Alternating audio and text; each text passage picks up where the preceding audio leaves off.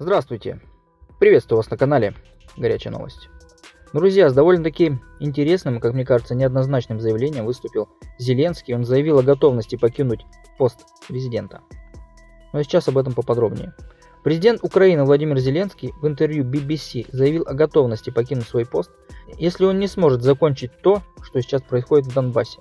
Запись доступна на YouTube. Зеленский сказал, что не цепляется за рейтинги и власть.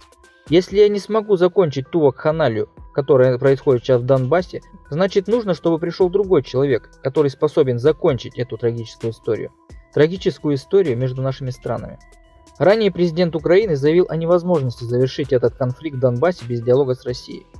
Он подчеркнул, что украинцы никогда не сдаются и в вопросе прекращения этого ужаса будут двигаться вперед и разговаривать и с западными партнерами, и с Россией для того, чтобы вернуть людей и территории. Вот такая, друзья, э, точка зрения, вот такая информация. Единственное, у меня возникают вопросы, в какие сроки, а, если он этого не сделает, он уйдет. Вот, потому что это действительно, это может быть год, а может быть и 15 лет. Какие сроки он себе отмерил.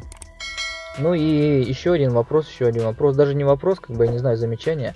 Как мне кажется, в данной ситуации не только от Зеленского зависит это, и не только от, если даже придет какой-то другой человек на его место, и не только от этого человека будет зависеть, как решится этот вопрос. Это очень сильно и, возможно, даже в большей степени, на мой взгляд, зависит от России, и как скажет Россия, так он и будет решаться. Вот, поэтому здесь уходить или не уходить, я бы подумал на месте Зеленского и с такими громкими заявлениями тоже, как мне кажется, выступать бы не стоило, потому что, ну, здесь далеко не все зависит от него и далеко не все зависит от Запада. Тут есть еще и Россия, которая тоже, как мне кажется, очень-очень сильно влияет на все эти происшествия. На этом, друзья, у меня все. Всем, кому понравилось видео, ставьте классы, подписывайтесь на канал, обязательно нажимайте на колокольчик, чтобы не пропускать новые видео, появившиеся на канале. Всем пока, друзья.